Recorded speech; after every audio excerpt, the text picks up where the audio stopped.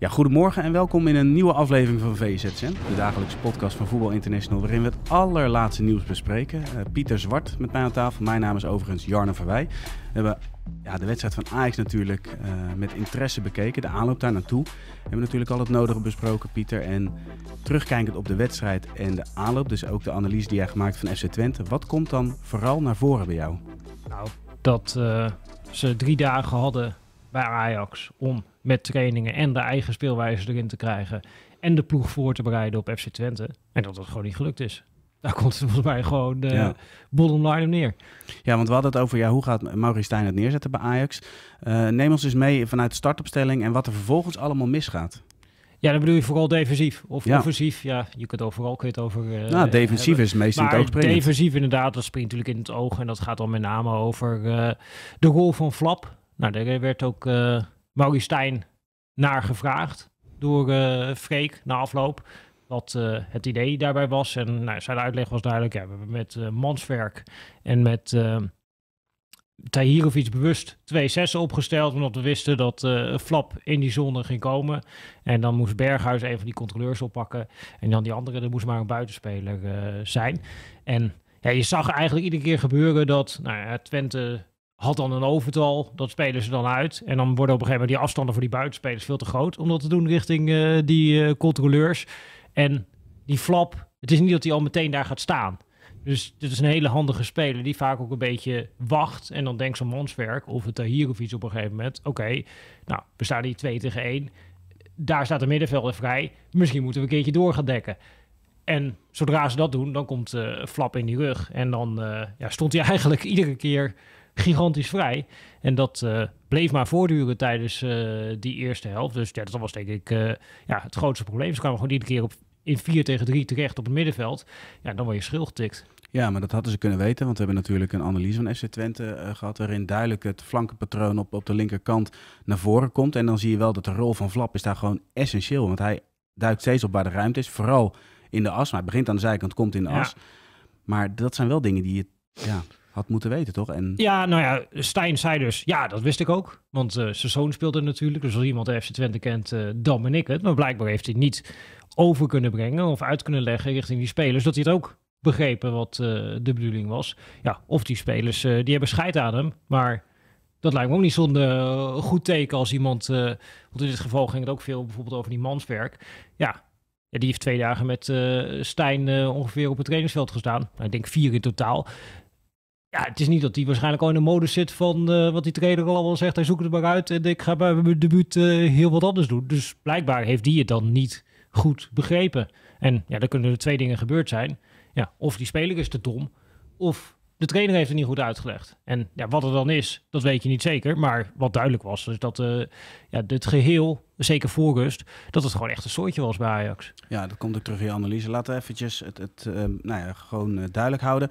Um, pak Ajax erbij. Er is genoeg over te zeggen. Dat zie je ook op, uh, op onze website vi.nl. Alle berichten van Ajax werden gewoon massaal gelezen. Ja, pro-stuk is uh, massaal gelezen. Dus alles wat op dat moment aan, dat slaat aan.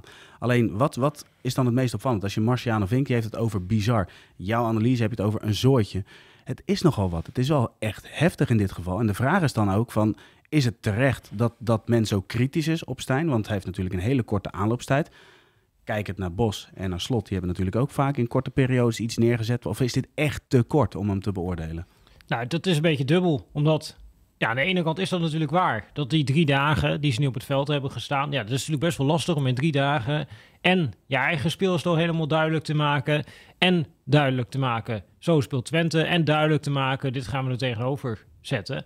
Dat, dat is best wel veel. Nou, dat is ook uh, te veel gebleken. Dus daar, daar moet je ja, een bepaalde nuance denk ik wel uh, aan toevoegen. En tegelijkertijd ja, is het ook niet zo dat je daarvoor, toen er nog jeugdspelers in stonden, nou dat was bij PSV in het begin van de voorbereiding ook zo. Die begon ook een Johan Cruijffschaal met uh, Babadi uh, in de basis. En ja, daar zag je wel sneller een lijn in komen dan nu bij Ajax. Al is het natuurlijk ook zo dat bij Ajax ja, op het laatste moment nog heel veel spelers zijn gekomen. Maar het is duidelijk gewoon nog geen geheel. En dat ja, is nu toch wel uh, zorgwekkend. Dat je staat gewoon uh, zeven punten achter uh, inmiddels op PSV. Ja, dat begint natuurlijk echt een kloof te worden. Ja, klopt. De- De vraag is alleen, is het woord kampioenschap, moet dat überhaupt nog vallen? Of moet je gewoon zorgen dat je zo dicht mogelijk bij een Champions League eh, plek terechtkomt? Toch is het nu van, in die periode dat, eh nou ja, dat, dat Stijn gaf, ja, weet je, Sutelo, ja, de prima speler, de rest ken ik nog niet echt, was, was de kritiek ook wel een beetje richting Mislintat. Nu heb ik ook Mhm. wel het gevoel dat het richting Stijn gaat. Ja, al zijn natuurlijk altijd mensen die dat op verschillende manieren eh, interpreteren. En je kunt natuurlijk ook altijd verschillende kanten op uitleggen. Dus je kunt ook zeggen, ja, die Manswerk die stond er nu voor het eerst in. Nou, moet je kijken hoe slecht hij speelt. Dat was een eh, dramatische aankoop eh voor Mislintat. Maar je kan ook zeggen, ja, die Manswerk die staat daar rechts controlerend op het middenveld. Bij iedere bal die hij krijgt, hij heeft geen afspeeloptie, want die rechterflank staat, is nooit bezet. Dat ligt eigenlijk ligt het aan de trainer. Dus je kunt altijd kun je het twee Ja, dat was de tactische wond van de trainer met Akpom. ja, met Akpom eh, hangend eh, aan de zijkant. Nou, op de trainingen werkt het heel goed, zei eh Stijn nog. In de wedstrijd werkte het niet zo goed. Ja, dus de eerste helft is ongelooflijk. Die Akpom, die heeft zes bases verstuurd. Daarvoor kwamen er drie aan. Ja, die deed gewoon eigenlijk helemaal niet mee. En ook verdedigd dat je bij hem... Want dat, dan was dus blijkbaar uiteindelijk de, het idee dat hij een van die controleurs ging oppakken. Maar ik zat daar verdedigd ook naar hem te kijken van... die, die, die speelde alsof hij nog nooit rechtsbuiten gespeeld had. Het is ongeveer ook zo. Maar die had geen idee eigenlijk waar hij moest lopen. Ja, dan wordt het op een gegeven moment Ja. wordt het wel lastig om druk te zetten. eh, Omdat eh, aan die andere flank, Steven Bergwijn. Nou, dat is ook niet iemand die eh, fanatiek is in druk zetten. Die loopt graag een beetje langzaam de kantjes er eh, vanaf. Een beetje alibi eh, druk zetten zie je bij hem nogal eh, vaak terug. Ja, als dat je twee vleugelaanvallers zijn, ja, dan wordt het wel lastig om druk te gaan zetten. Dan heb ik nog niet eens gehad over nou, de laatste lijn. Hoe staat die vervolgens aangesloten middenvelders? Want je zag vaak dat Ajax dan in hele grote ruimtes met vier man gaat proberen druk te zetten op de opbouw van Twente. Ja, Twente is niet zo slecht dat je dat met vier man voor elkaar krijgt. Je hebt uiteindelijk een heel team nodig om druk te zetten. En dat, dat is gewoon nog niet terug te zien bij Ajax. Nou, daar zijn verklaringen voor, maar het is ook wel weer duidelijk eh, dat ja, bij een club als Ajax moet je op een gegeven moment wel gaan verwachten dat je ja, iets te zien krijgt. Want er zijn geen no-no's, zeg maar, die spelers Ja. op het eh, veld staan. Dat zijn allemaal internationals, want daar waren ze de afgelopen twee weken allemaal weg. Maar wat vind jij dan het meest pijnlijk, Pieter? Het feit dat je dus eh, niet gestructureerd druk zet als team? Of dat je bijvoorbeeld, nou neem even het verschil Akpom ten opzichte van Flap. Eh trainer van, van Twente had hetzelfde idee met Flap als de trainer van Ajax met Akpom. Ja, Met Akpom werkt het niet minst aan de bal. Twente werkt het wel, Flap het meest aan de bal.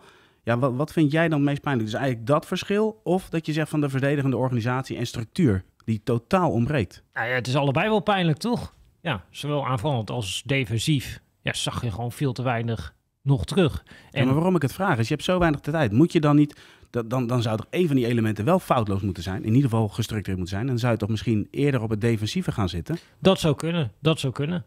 En ja, daar ja, is nog heel lastig. Hij heeft duidelijk, wil hij het op een andere manier wil hij neerzetten dan eh, in de jaren daarvoor het eh, geval was bij Ajax. Waar echt druk gezet werd eh, man om man. Nou, dat is nu het idee geloof ik dat het wat meer zone is. Maar je ziet, en dat zie je dus met eigenlijk die momenten waar ze dan in ondertal komen dat Flap vrijkomt. Dat op een gegeven moment spelers gaan toch weer man om man opzoeken. Ja, dan komt er gewoon iemand vrij. Ja, dat soort dingen. Ja, dat zie je vaak terug bij een ploeg in transitie. En ja, dan vind ik het ook wel zorgwekkend dat daar, ja, als ik dan Stijn afloop hoor, dan zie ik daar niet een trainer die daar verantwoordelijkheid voor neemt. Dan gaat het, eh, nou, twee weken geleden ging het over, ja, die aankopen zijn van, eh, gedaan door Sven. Moet nog wel blijken hoe goed ze zijn. Nou, en nu ging het over, eh, ja, we hebben het van tevoren, aan de voorkant hebben het heel duidelijk aan ze uitgelegd. Ja, ja, ze doen het niet. En ze coachen elkaar niet. Ja, waar moet ik dan nog beginnen? Is eh, zijn uitleg. En hij roept ook de hele tijd: ja, het heeft allemaal te maken met eh, mentaliteit, passie, inzet, duels winnen. Ja, en als dat er niet is, ja, dan hoef je niet eens aan tactiek eh, te beginnen. Ja, ik denk als dat de uitleg is, ja, dan zie ik ook niet meer in. Hoe ga je dan verbeteren? Ja, maar bij Ajax zie je dus vooral terug dat, dat het allemaal verwijten zijn. Maar je ziet geen progressie. En de vraag is, gaat dit goed komen, Pieter? Maar Ja, je begint- gaan we deze samenstelling nog zien? Ja, het is altijd heel makkelijk. Zoveel wedstrijden en dan zeggen, ja, eh, hoe lang gaat het goed? Wat, wat gaat er gebeuren? Wat zijn de consequenties? Maar als het zo extreem is, hebben we het over nou, het slechtste Ajax sinds jaren. Dat Nou ja, wordt ja, gezegd. nou ja, dat, dat klopt ook, omdat feitelijk gezien is het de slechtste seizoenstart eh, in volgens mij eh 60 jaar, die eh, Ajax nu eh, realiseert. Dus ja, de resultaten zijn dramatisch slecht. En het ja, erge is, soms zijn de resultaten slecht. Zoals bij Feyenoord, waar de resultaten ook slecht in die eerste twee wedstrijden. Maar kon je nog wel zeggen, nou, dat spel, daar kun je aan vasthouden. Maar bij Ajax is er ook in het spel, is er eigenlijk bijna niks om je aan vast te houden. En ja, ze begonnen met overwinningen en toen werden het gelijke spelen en nu zijn ze aan het verliezen. Dus daar lijkt ook een trend Ja. naar beneden te zijn. En tegelijkertijd ja, hoort er nog wel altijd de context bij. Ja, eigenlijk is de voorbereiding van Ajax donderdag begonnen. Ze hebben drie trainingen gehad. Ja, ja ze speelden ook als een ploeg die drie keer met elkaar getraind hebben. En misschien is dat ook weer niet heel erg gek. Alleen hoe dit nu ja, verder voorwaarts moet gaan. Ja, maar waar stopt dit? De komende donderdag Marseille, zondag wacht Feyenoord. Dit, dit kan echt pijnlijk gaan worden. Ja, dat, dat is zeker waar. Dus eh, ja, dat worden twee eh, enorme uitdagingen voor Ajax. eh, die wedstrijden die ze gaan spelen tegen Marseille en Feyenoord. Dus ja, en ja, je hebt nu ook dan vandaag, ja, je zou eigenlijk met die gasten aan de slag willen. Maar ja, dit is eigenlijk natuurlijk een hersteltraining dag. nou, dan heb je morgen een enigszins fatsoenlijke trainingsdag. En dan die dag Ja. ervoor ben je alweer half aan het trainen, omdat je de dag voor eh, de wedstrijd zit. Ja, dat is niet makkelijk. Ook deze week ga je weer, nou, misschien twee of drie fatsoenlijke trainingen hebben. En ja, als je de beelden erbij pakt, ja, moet gigantisch veel eh, moet er eh, aan gebeuren. Dus wat dat betreft, ja. De grootste niet- uitdaging is wel, waar begin je? Ja, Want dat, ik, dat, dat is ook wel, ja, weet je, wat ik ook aan jou wil vragen. Van, ja, waar, be- waar begin je nou? En dat Ja, is het echt wel... eh, En het ja, je zou verwachten dat het begint bij waar de trainer Stijn ook bekend op stond bij zijn eerdere ploegen. Dat je in ieder geval dan die verdedigende organisatie precies. neerzet. En dan maar wat verder terug. Dat je in ieder geval bij elkaar in de buurt speelt. En dat je elkaar daadwerkelijk eh, kan gaan helpen. En ja, op die manier in ieder geval ja, een organisatie neerzet die een vorm van vertrouwen geeft. Waardoor uiteindelijk ja, er misschien iets in begint te komen. Dus eh, ja, dat, lijkt me waar je begint. Dat je dat in ieder geval neerzet. En dat dat in ieder geval eh, duidelijk is. Want als het nu blijkbaar zo was dat eh, ja, plan A is getraind en B gebeurt op het veld. Ja, dat is wel een zorgwekkende situatie natuurlijk. Ja, absoluut. Het wordt een eh, spannende week met eh, zondag eh, ja, de, de klassieker als ultiem toetje. Overigens, die dag gaan we live met Martijn Krabberdam en Freek Jans in de studio. Half twaalf tot half één gaan we uitgebreid vooruitblikken op die wedstrijd. Op ons YouTube kanaal te zien. Op ons YouTube-kanaal, inderdaad, Pieter. Maar ehm, pak nu even de komende week, want er gaat nog veel meer gebeuren. We hebben ehm Feyenoord tegen Celtic, daar zijn we bij aanwezig. De wedstrijd van PSV in Londen, daar zijn we ook bij Ja. aanwezig. We hebben Ajax deze week, waar we ook aanwezig zijn. Ehm, goed, Ajax hebben we nu uitgebreid besproken. PSV en Feyenoord. Laten we starten met PSV. Klaar voor Arsenal? Ik denk dat ze ver zijn, maar ik denk niet dat ze klaar voor Arsenal zijn. Een stuntje, zit dat erin? Ik heb er daar een hard hoofd in. En dat is ook omdat eh, ik verwacht dat PSV gaat proberen PSV-voetbal te spelen. Dus het voetbal wat ze onder Peter Bos eh, spelen tegen dit Arsenal. Maar ik denk dat dit Arsenal daar beter in is dan dat PSV erin is. En dan, ja, kijk, dat ze vorig jaar wonnen, ja, dat waren counters en spelervattingen tegen een B-team van Arsenal. Ja, de- zo gaat Bos waarschijnlijk niet spelen. En dan ja, moet je voetballend eigenlijk beter zijn dan eh, Arsenal om dat voor elkaar te krijgen. En dat, dat geloof ik gewoon niet, dat ze nu al verder zijn dan Arsenal. Simplified, Arsenal is gewoon wat dat betreft te goed. Ja, die hebben natuurlijk gewoon praktisch op elke positie staat daar eh, een betere speler. En die zijn ook nog zoekende hè, dit seizoen. Dus het is niet dat, dat, eh, dat daar eh, het een machine is die al helemaal los is. Alleen het is wel ja, een ploeg waar zoveel kwaliteit in zit. En die al zo lang met deze trainer bezig zijn. Dat, en ook nog thuis spelen. Dat je ja, een moeilijke voorstelling bij kan maken hoe PSV die wedstrijd gaat winnen.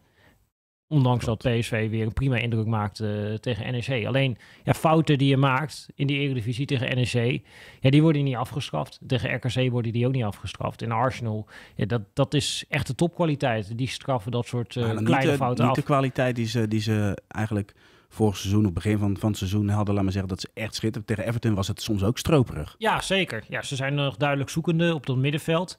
Eh, Thomas Partey is nu weer geblesseerd eh, weggevallen. Die ze in het begin van het seizoen als rechtsback hebben gebruikt. Ja. Sinchenko is nu weer net terug. Die heeft toch ook een belangrijke rol als naar binnenkomende linksback. Rice, die zijn ze aan het inpassen in dat elftal. Ja, links aanvallend op het middenveld. Dus hij ging eigenlijk met twee aanvallende middenvelden spelen. Met Havertz en Eudegaard. Havertz, vier wedstrijden, nul goals, nul assists. Die wordt dan uiteindelijk nu vervangen door Fabio eh Vieira. Nou, in dat soort kleine dingen zie je wel dat ze nog wel echt eh, zoekende zijn bij Arsenal naar de ideale samenstelling. En dat is inderdaad wel een verschil met vorig seizoen. En tegelijkertijd, ja, in de topwedstrijden heeft eh, Arsenal tot nu toe wel gestaan. Eigenlijk beter dan tegen de kleintjes zoals Arsenal. Want ja, United, ja, die wedstrijd winnen ze wel weliswaar met late goals. En tegen Manchester City pakken ze de Community Shield. Dus ja, dit is wel een ploeg. Ja, die kan zich gewoon meten met Manchester City. En ja, als je daar tegen moet gaan spelen terwijl je vanuit de Eredivisie komt, wat ook tegen Sturm Graz, tegen Rangers, en veel van die fouten worden gewoon niet afgestraft. Je zit in één keer tegen de ploeg, het is een hoger tempo, iedere fout gaat afgestraft uh, worden ja, ik weet niet of dit PSV daar al klaar voor is. Uh, ja, ik heb daar ja, wat twijfels bij. Ik zou ze meer kans geven, zeg maar. In de tweede wedstrijd die je tegen zo'n Arsenal speelt. Uh, en dat je enigszins gewend bent aan het tempo van de Champions League. Uh, allemaal dat soort dingen. Maar ik denk dat dit ja, misschien gewoon te vroeg komt. En het zou ook niet meer dan normaal zijn. Dat je als je naar het Emirates Stadium gaat, uh, ja, dan hoef je niet als Nederlandse ploeg te verwachten dat je even de drie punten komt ophalen. Nee, precies. En dan uh, Feyenoord tegen Celtic. We, ja, we hebben slot gehoord na afloop van uh, de wedstrijd van afgelopen weekend. En die was trots op de opbouw van Feyenoord. Een opbouw die weinig ploegen onder druk kunnen krijgen. Ik ben nog gelijk nieuwsgierig. Ja, hoe gaat het in de Champions League zijn? Is dat dan wel een ploeg die die opbouw echt onder druk zou kunnen zetten, waardoor Feyenoord het lastiger gaat krijgen? Celtic. Ja. Ja, Celtic, we hebben een analyse van uh, Sam Planting uh, er ook over. Uh, ze waren natuurlijk heel erg ook van het druk zetten onder uh, Antje Postosoglu. Zo, dat is even een topbrekentje. Ja, ja, ja. ja, ja, ja. nee, en Brenda Rodgers, die lijkt het, zeker in topwedstrijden, lijkt hij dat meer ook soms ze terug te laten zakken en wat meer uh, te gokken op uh, de omschakeling met een uh, snelle Japanse spits. Dus ja, misschien hoeven we dat beeld moeten ook maar verwachten tegen Feyenoord. Dat zij wat meer ja, teruggetrokken de boel gaan opwachten en dan uh, loeren op uh, countermomenten. dus ik verwacht eigenlijk wel dat Feyenoord ook tegen Celtic ja, heel veel de bal gaat hebben. Ja, precies. Tot slot, meest gelezen item op uh, VPRO dit weekend was het verhaal van Dave Albers.